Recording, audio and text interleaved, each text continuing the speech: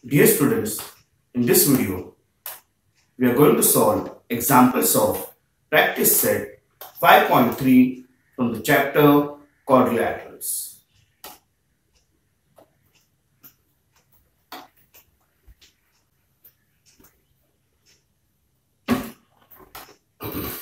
First example, diagonals of rectangle ABCD intersect at point O. AC is equal to 8 centimeter. AC is given as 8 centimeter. Find DO if angle C CAD is 35 degree. Find angle ACB. This angle we have to find ACB. Now, first it is given that AC diagonal AC is equal to 8 centimeter. Therefore, diagonals of by property diagonals of rectangle are congruent they are equal.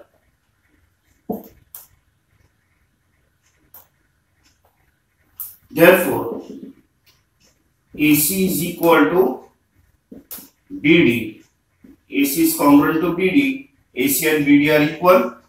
Therefore BD is equal to 8 centimeter. Diagonal BD is equal to 8 centimeter. Here we have to find BO.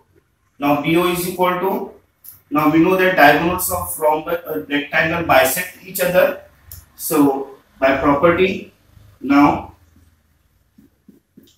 diagonals of rectangle bisect each other. Therefore, BO BO is equal to 1 upon 2 BD that is 1 upon 2 into 8 2 ones are 2 4s are which is 4 centimeter. So BO is equal to 4 centimeter. Now angle CAD is given as 35 degree. You have to find angle ACB. Now opposite sides, opposite sides of rectangle are parallel. Therefore, here AD is parallel to BC and we'll consider AC as a transversal. Therefore, AD is parallel to BC and diagonal AC is a transversal. Diagonal AC is a transversal. Therefore, angle CAD, therefore, angle CAD is congruent to angle BCA is congruent to angle BC or ACB. They congruent since two parallel lines intersected by transversal, the alternate angles are congruent. So this is 35. So this is this angle AC is also 35 degree. So these are the alternate angles. Alternate angles are congruent. Therefore, major angle ACB is equal to 35 degree.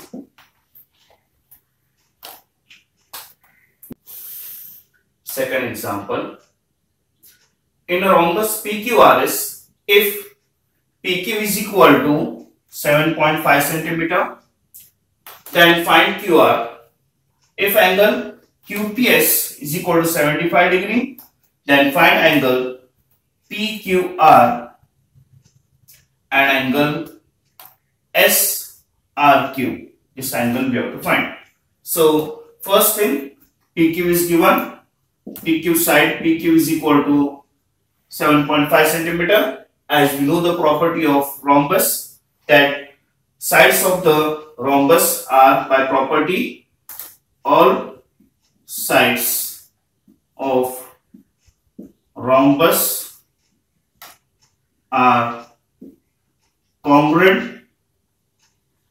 therefore therefore length pq is congruent to length qr pq is 7.5 centimeter. Therefore qr is also 7.5 centimeter. Now regarding angle angle qps is 75 degree. Now, this angle QPS and angle, we have to find angle PQR. These two are angles are adjacent angles of rhombus. And the property of adjacent angles, adjacent angles of rhombus, adjacent angles of rhombus are supplementary are supplementary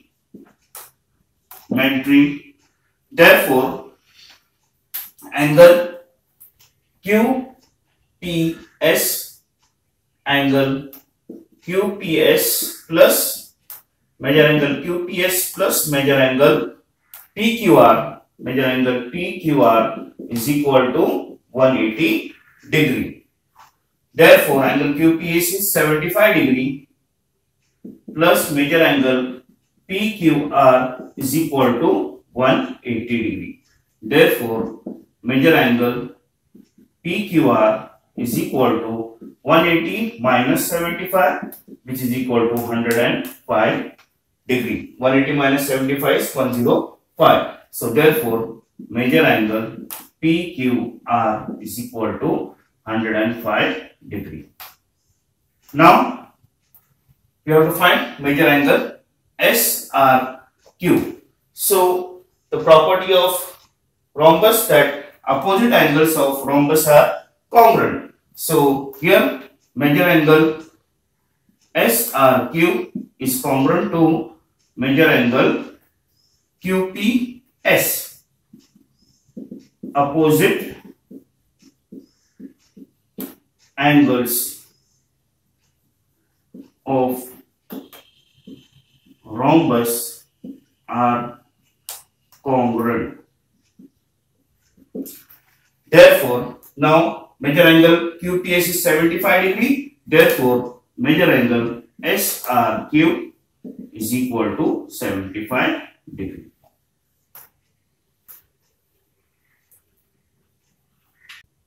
Third example, diagonals of square IJKL intersect at point M. Find the measure of angle IMJ, angle JIK, JIK and angle LJK. Now, here quadrilateral IJKL is a square is a square and we know the property of square so each angle each angle of a square of a square is right angle therefore angle IJK angle IJK is equal to angle JKL is equal to angle KLI KLI is equal to angle JIL angle angle JIL angle JIL is equal to 90 degree. Now we know that diagonals of square diagonals of square bisect each other at right angle at right angle therefore this bisect each other at 90 degree therefore angle I and J is equal to 90 degree. Now, diagonals of by property diagonals of square bisect opposite angles opposite angles. Therefore, this 90 degrees bisected into two parts and this also is bisected in two parts. So here the angle which we require here therefore angle angle J I. K is one half major angle. J I. K is half of angle major angle. J I N. Now angle J I N is 90 degree. From one each angle is 90 therefore 1 upon 2 into 90 to 1 are 45 degree. Therefore angle J I A is equal to 45 degree. Also similarly in the same manner the third angle which we have to find is angle LJK, angle LJK, this angle, angle LJK, angle LJK is equal to 1 upon 2 times angle IJK, angle, major angle IJK. See, a diagonal bisect opposite angles. Therefore, angle J LJK is equal to 1 upon 2 into 90 2 ones are 2 into 45. Therefore, angle LJK is equal to 45 degree. Fourth example. Diagonals of rhombus are 20 centimeter and 21 centimeter respectively. Then find the side and the perimeter of the rhombus. So let us consider a quadrilateral ABCD is a rhombus. Quadrilateral ABCD is a rhombus. We know that the diagonal net diagonal AC is equal to 20 centimeter and diagonal BD is equal to 21 centimeter. And we know the property of rhombus that diagonals of rhombus bisect each other at right angle. So by property by property of rhombus diagonals of rhombus bisect each other at right angle. Right angle. They bisect each other. Here BO is equal to OD and AO is equal to OC. Therefore, AO is equal to 1 half. AC bisect each other. That is 1 upon 2 into AC is equal to 20 which is equal to 2 ones are 2 tens are 20 10 centimeter. And DO is equal to 1 upon BO is equal to 1 upon 2 into BD bisect each other, diagonals bisect each other, therefore 1 upon 2 into 21, 21 ones are, that is 10.5 centimeter. Now, by the proper, here, now triangle, in triangle, in triangle ABO, in triangle ABO, major angle AOB is equal to 90 degrees since diagonal bisect each other at right angle. Therefore, by Pythagoras theorem, AB square, here side opposite to 90 degrees the hypotenuse. So, AB square is equal to AO square plus BO square by Pythagoras theorem. By Pythagoras theorem, AB square is equal to AO square plus BO square since triangle AOB is a right angle triangle. So we can apply the Pythagoras and we can find the side AB. Therefore AB square is equal to 10 square is 100 plus 10.5 square is 110.25. Therefore AB square is equal to 210.25. Therefore, AB is equal to square root of 210.25 which is equal to 14.5 centimeter. So side of the rhombus side AB is equal to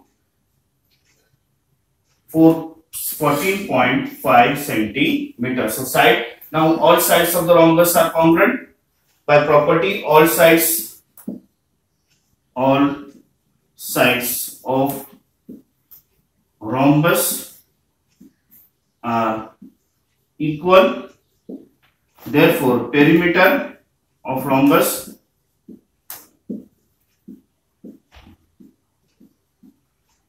is equal to four sides are there and four all four are equal so 4 into side which is equal to 4 into 14.5 4 into 14.5 is 58 centimeter. So perimeter is 58 and side of the rhombus is 14.5 centimeter.